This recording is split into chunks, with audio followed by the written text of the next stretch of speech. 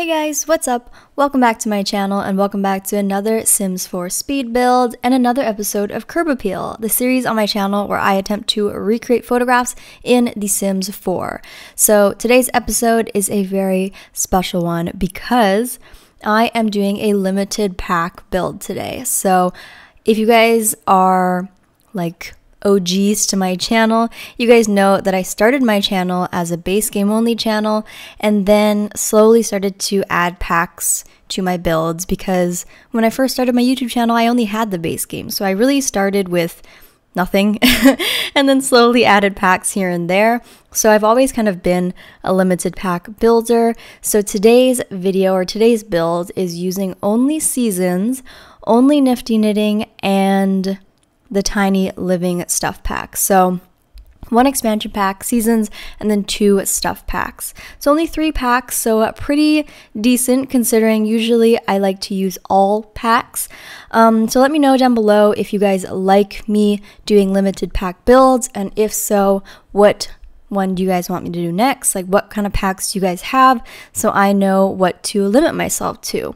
I usually like to do maybe like one expansion pack and a couple game packs or stuff packs, but I'm not really sure what everybody has, so definitely let me know down below. So, as per usual, I'll pop the reference photo of what we are recreating up on the screen right here, right now.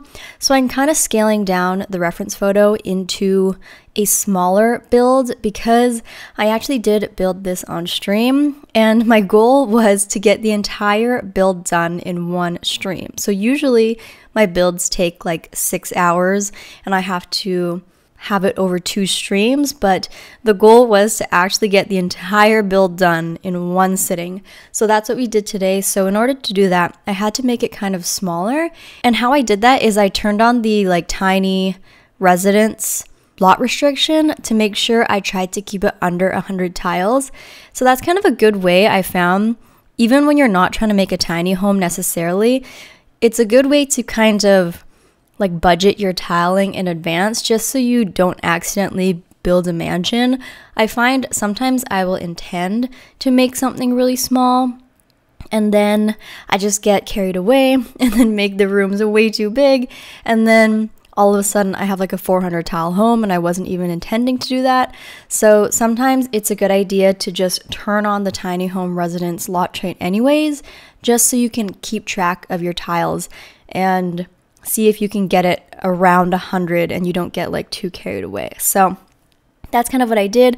I ended up turning off the tiny home residential lot trait anyways because we did go over, but I found it was a good way for me to kind of like budget and keep it in check, if you know what I mean. So as you can see, we are pretty much done the exterior and it looks very, very cute.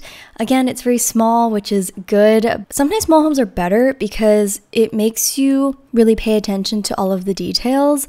And I find that I will furnish and like clutter up the home a lot more when it's smaller. Whereas if it's so large, sometimes you can't be bothered and you think like, oh, I can't, you know, clutter up every single nook and cranny. I'll go for a more minimalistic, clean approach. But when something's smaller, um, I find that I will like try a little bit harder with all the little details because it's less overwhelming. So I had a lot of fun with this one, and so far I'm just putting the little seasons like little brackets underneath the kind of roof thing just to make it look a little bit more interesting, just add those small little details. But overall, I'm really happy with the roofing I did here too. It's kind of like an odd shape because we didn't really know what the back of the home looked like. So I kind of just made it up and I think it looks quite natural and it looks quite cute and at all angles it looks like quite a nice looking home. That's always a struggle is making the home look good and have curb appeal from all angles because sometimes it can look kind of like flat at the back but nice at the front if you know what I mean. So I feel like I did a relatively good job at making this home look interesting all around. And that's also a benefit of tiny homes or smaller homes is they tend to look a bit cuter from all angles whereas like larger homes can have long flat bits and you don't really know how to make them look interesting and you end up putting too many windows and it looks kind of awkward. So this one does look quite cute. So because I only had um, three packs to work with. Again, those were Seasons, Nifty Knitting, and the Tiny Home Stuff pack.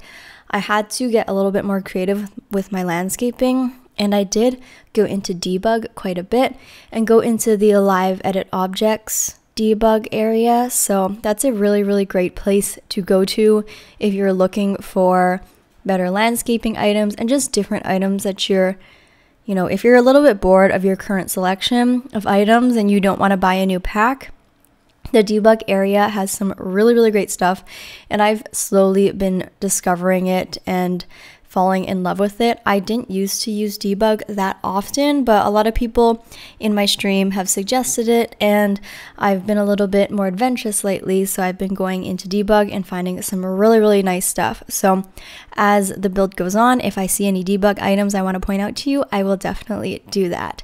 So, this is also if you guys didn't notice, because a lot of people ask me questions about this in my stream, this lot that I'm building on is actually in Oasis Springs. It's a base game lot, and for some reason, nobody builds in Oasis Springs. Well, it's not for some reason. I know the reason. It's because the lighting in Oasis Springs kind of sucks.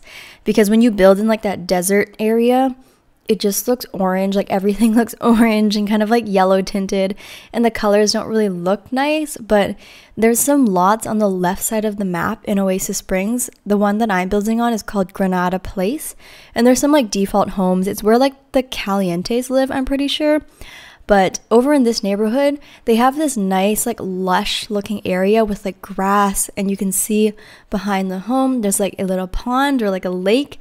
So I think that this area is quite nice. And this is one of the lots that I actually really love to build on in Oasis Springs. And I feel like it doesn't get enough credit. Like, I know Oasis Springs is kind of not everyone's favorite place to build, but I feel like this neighborhood on the left side of the map is actually really, really beautiful. And people should take note of this area because a lot of people in the stream had didn't even recognize it, which I thought was really funny because Oasis Springs has, you know, that reputation. But I think this one's really beautiful, and I'm definitely going to build over here more often, especially if I do like a base game build in the future. But yeah, let me know what you guys think of this lot, and if you guys knew that it existed, or if you usually avoid Oasis Springs in general. But like I was saying about the debug items, that little like wheelbarrow full of uh, yellow plants, that's from debug. And this fence that I'm using right here, that's also from Debug. And I believe it's from the base game Debug too, believe it or not. So super, super nice. Um, I don't know if you can search for it. You just have to search Debug and kind of scroll through the catalog. But yeah, that fence with the leaves on it is from Debug. The wheelbarrow, also those hanging plants that I put by the porch. Those are debug as well. And also the little archway that I put in the backyard in between the two trees. It's kind of like a metal archway. That's from debug as well. So a lot of cute items. Honestly, they should just put it in the normal catalog because why wouldn't we want to use it all the time? I think that it'd be so great if like the debug menu got like a big overhaul and they just put the items into the normal catalog because I really don't see why they wouldn't be in the normal catalog because people use them all the time and they're just such nice items. So they might as well. And it would make a lot of people happy because a lot of players probably don't want to have to like type in cheat codes and stuff just to get access to these items when you can just put them in the catalog. So maybe that will happen one day. I'm not quite sure, but here you can see I'm doing the backyard. And we just recently got a base game update with some free items here. So those are the items that I'm using. So this cute little like barbecue and then the cute table and chairs. Um, my chat suggested that I use them since they did come with the free update. So it's kind of nice that the Sims team is always giving us some like free things here and there. Um, the base game looks way different than it did back when I got it two and a half years ago, or almost three years ago now. Has it been? Oh, it's been like three years since I started my YouTube channel. So, yeah, three years. Happy three year birthday to my YouTube channel. But yeah, the base game looks so different than it did three years ago. Like, we have so many new items and so many new features, like, you know, like movable stairs and like terrain tools and all that stuff. And like the window update and the doors where you can like place it on any any grid. So so cool. So it's nice to see that things are like improving, I guess. uh, but there's still obviously a long way to go. But here you can see I am pretty much just putting some pumpkins around the lot just to make it a little bit more autumn themed. I thought that it'd be better to make this kind of a Octobery autumn themed home instead of just a generic cottage. So hopefully if you see this video, you can start using this in time for Halloween or something like that. But yeah, if you don't want to use it for autumn, you can just delete the pumpkins, I guess, and just make it a normal little cottage. But as you can see, I'm just making it dark and putting around lights just to make sure that the build is well lit at nighttime. And I've said this already, I think, but my favorite lanterns for nighttime are those base game ones that I used just now. I think they're great and they actually give off a lot of light and they're super functional. So, yeah, those are some of my favorites and they're like nice and sleek and white. And yeah, I think I think more lanterns should be like that one because it actually like works. A lot of the lanterns just like don't give off enough don't give off enough light, I find. So they're not super functional if you're actually trying to light up your yard in the dark. But anyways, you can see we are on to the interior now. So it's a super tiny interior and I'm not the best at tiny homes, I don't think. At least I don't really practice that much. I like to give my builds a lot of space, especially kitchens, because I love having large kitchens with islands and every every kitchen has to be like my dream kitchen if you know what I mean. So tiny kitchens are not quite my forte, I guess. So I struggled a little bit with this one just to make it functional completely, but there's barely any counter space here. The only place they have to prepare food is that little corner section in between the stove and the fridge. So really not not the most luxurious kitchen, I guess, but it's still nice and new and modern. And I did end up using the tiny living like bar seating. So tiny living definitely came in handy in this home, which makes sense because this is a relatively tiny home, I guess. But yeah, you can see here I'm just putting down a little runner mat. That one's from Seasons. So the other reason, by the way, that this was such a big deal is because I have been like, I give. I don't like seasons, or supposedly I don't like seasons. I tell everybody that I hate seasons, and I know that's super controversial. I didn't know it was controversial until my Twitch chat told me that it was controversial, but apparently everyone loves seasons. And I didn't know that because I hated seasons. and the reason why, like I have I had my reasons. I think I like seasons now. I I'm not sure, but I think the reason is because we didn't get a new world. And I really like new lots to build on because I'm a builder. And also, I wasn't happy with all of the color swatches that the season's items came with. It's like a lot of purple and blue and like lime green and orange. And I just thought the color swatches were so out there and not practical. And you guys know that I love my neutrals, my beiges, my black and white, and that kind of thing. So the season's color swatches are just not it for me. They're just not it. but slowly but surely, people have been making me use seasons and making me realize that it's actually a really good pack. So that's why um, you guys really wanted me to do a seasons only build, which is what sparked kind of this idea to do this kind of seasons cottage. Obviously, I used a little bit. Um, more packs. I used Nifty Knitting and Tiny Living just because I thought why not get a little bit more variety. But I think I can confidently say that Seasons is a good pack and I like it. So my mind has been changed. Uh, I have gotten over the fact that the color swatches are a little bit too out there for me, but I do really like some of the items and especially all the build assets like the windows and the doors. So, so beautiful. Um, but yeah, I finally, I finally gotten over my fear of seasons.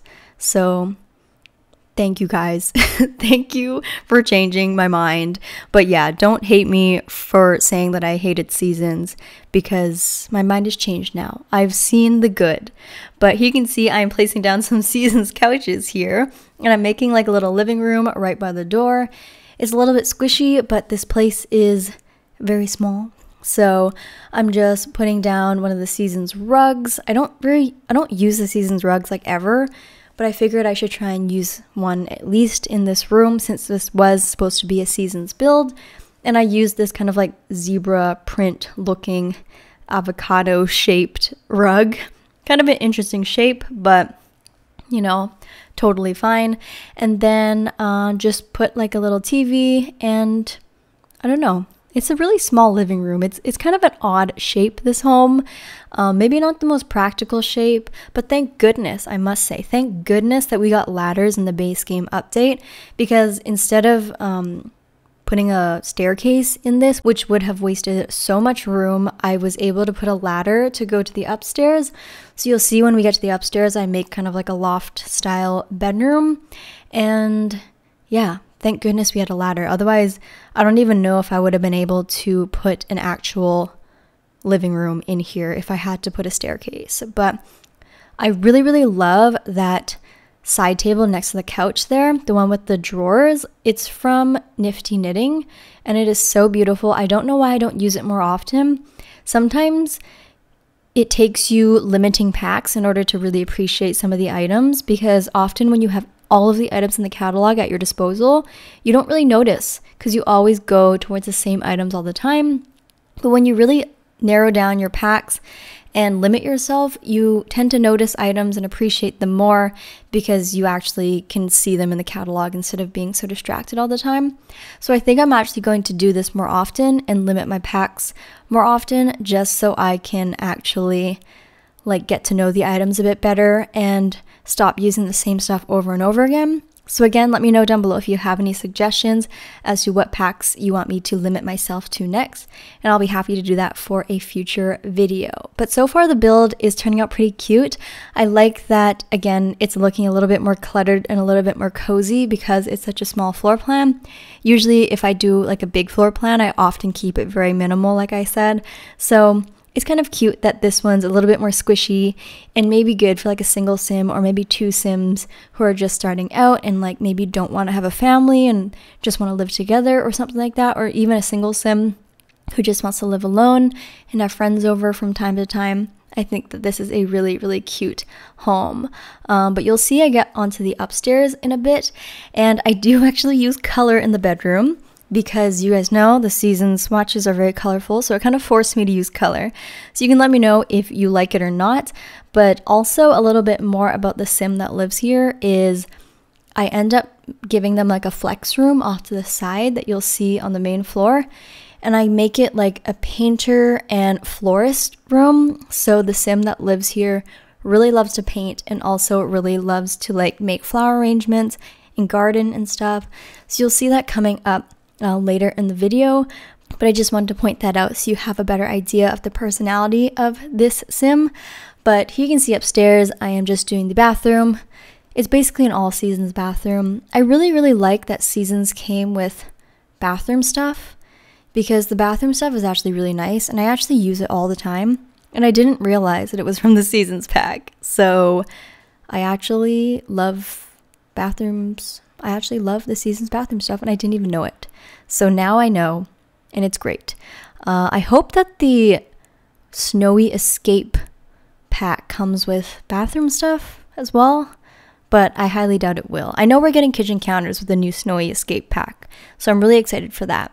But here you can see we are working on the bedroom and Seasons came with two different beds, so I ended up choosing this one without a prominent headboard.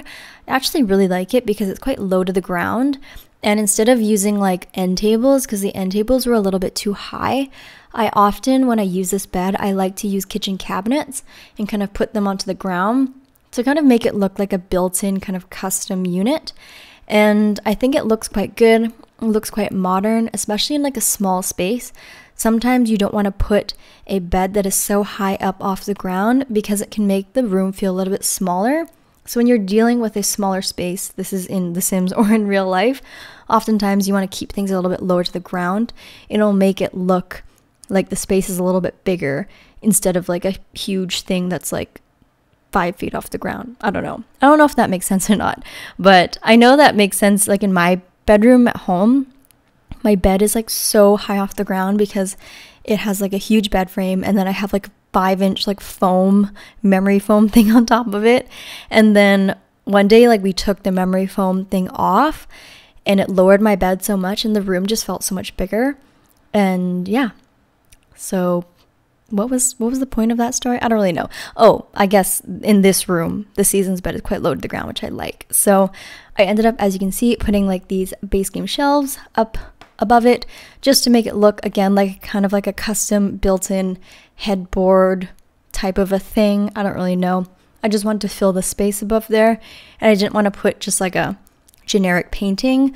I thought it'd be a little bit better to put like an actual bookshelf because then you can clutter it up a little bit, add a little bit more personality to this room. So I put a bunch of books, put a little succulent plant, just put some like nail polish and perfume and stuff like that because I figured the sim here might be a female, but I'm not really sure. But yeah, here I'm just putting some stuff onto the side tables. Those two items, that little lamp and that little like tray with the candles and that little book bookshelf thing with the all of the things on the side tables are from are from Tiny Living. That's what I'm trying to say. Um, but you can see here that the color I chose is purple. So I did end up going for a, a purple themed bedroom, which I think is nice, especially since the walls are white and the floorboards are brown.